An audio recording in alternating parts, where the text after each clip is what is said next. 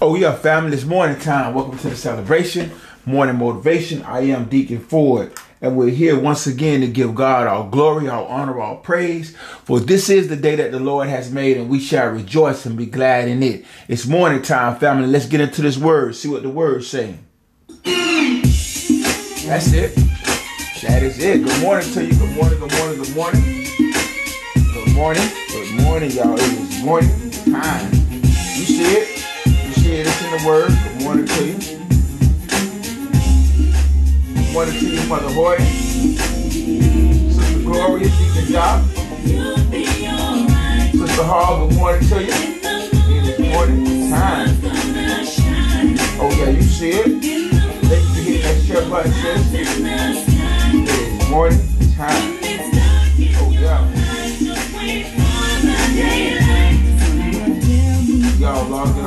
You on here, Cut Herb. Good morning to you. I see you on here, Vita. Good morning to you, Brother Terrence. Oh, yeah. Time. Morning to you. Good morning to each. Listen, good morning to each and every single one of y'all. This is the day that the Lord has made, and we shall rejoice and be glad in it.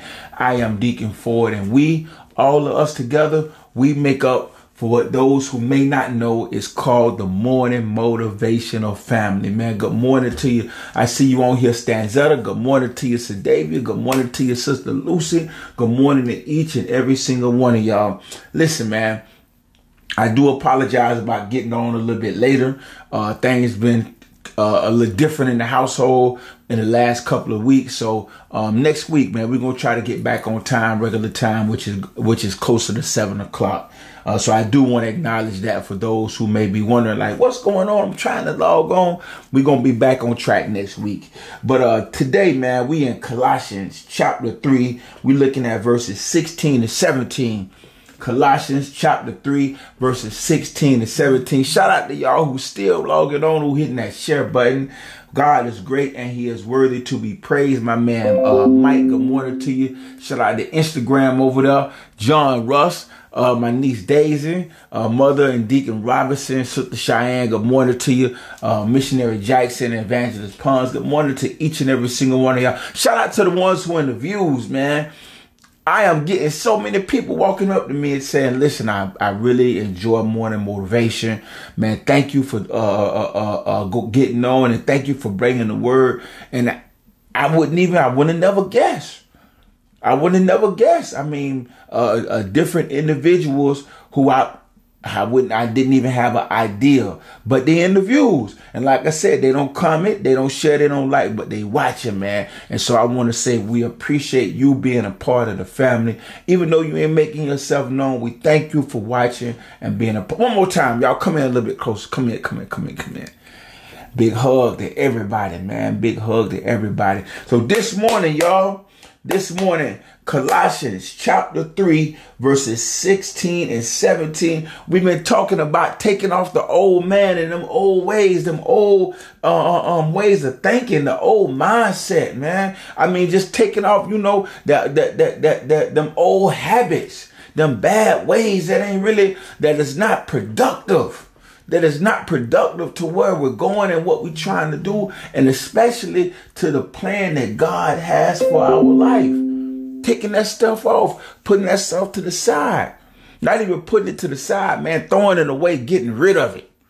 I stand corrected, not putting it to the side, throw, balling it up and throwing it away and getting rid of it and then putting on the new man.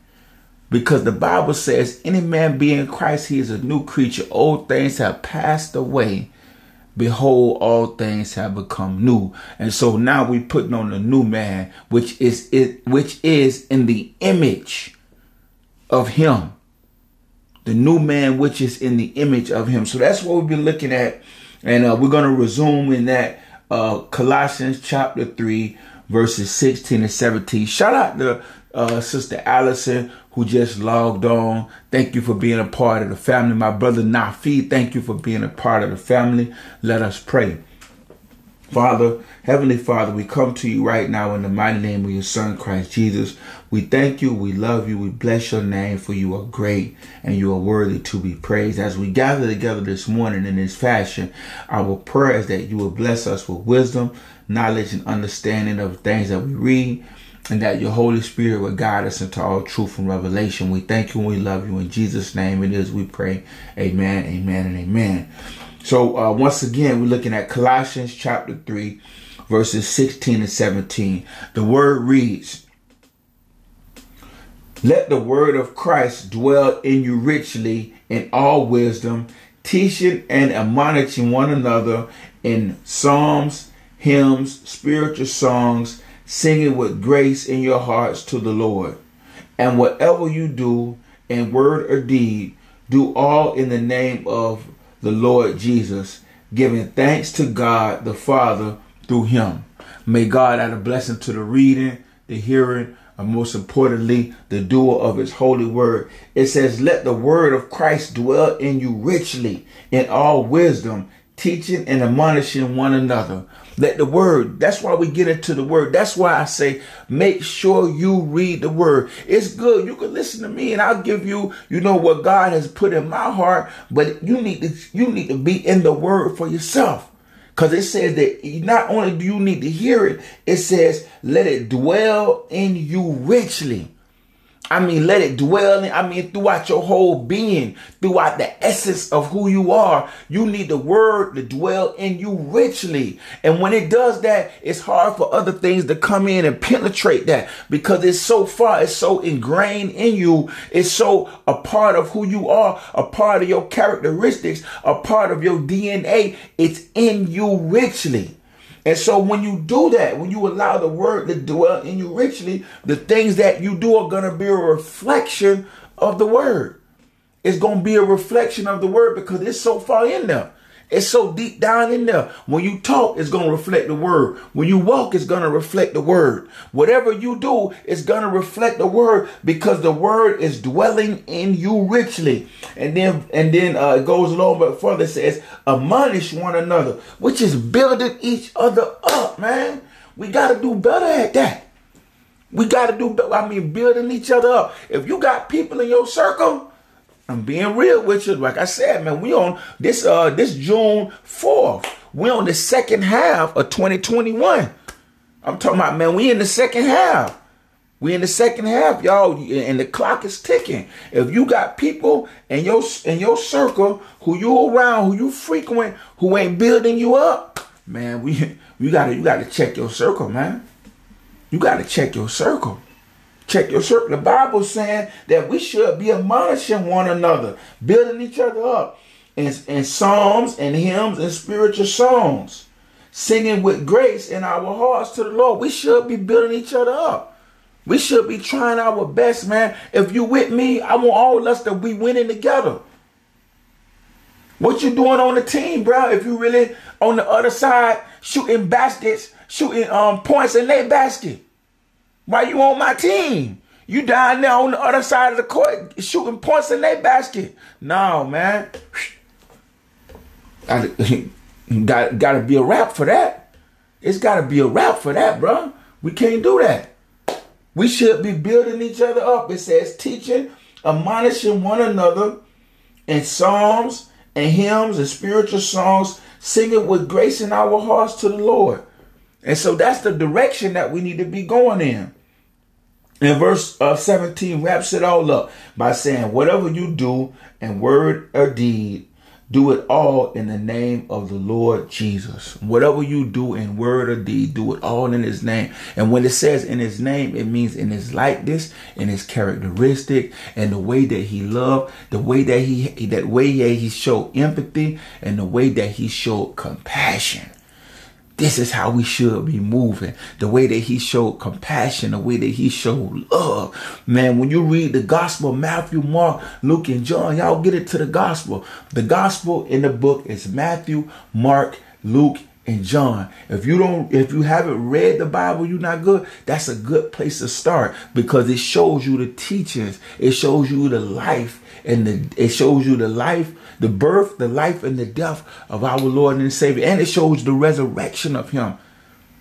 And when you understand how he moved and the way he moved and why he moved the way he moved, you go move different.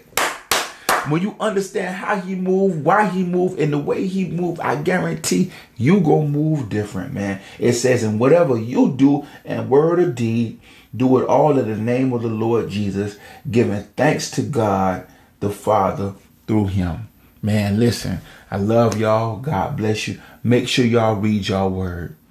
Make sure you read your word, man. In this second half of 2021 and the rest of our lives, it's a wrap for the foolishness. In this second half of 2021 and the rest of our lives, it's a wrap for the foolishness. Reflection, accountability, preparation, getting prepared to walk into our purpose and fulfill our God given destiny, man. And it's a wrap for the foolishness, y'all. It is a wrap. That's it, bro. We building, admonishing, teaching, loving, compassion.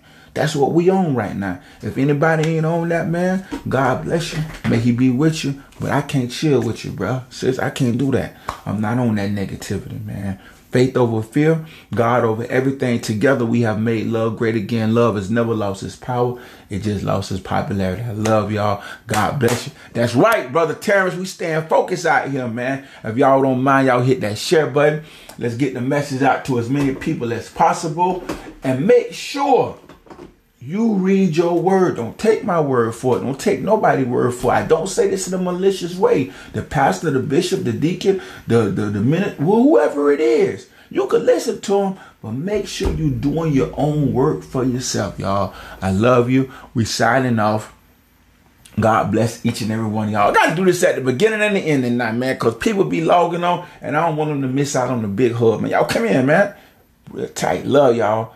God bless you. Guess what? It's morning time, family. Morning time. Signing off, man. Make sure you read the word, man. Read the word for yourself. Get the know for yourself. All right? I love y'all.